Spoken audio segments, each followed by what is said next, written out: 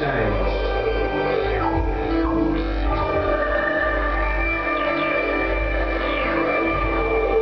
It's deranged we move from stuff, which is enough, to things we covet, things we crave, things that kind of define us, shine a light on us.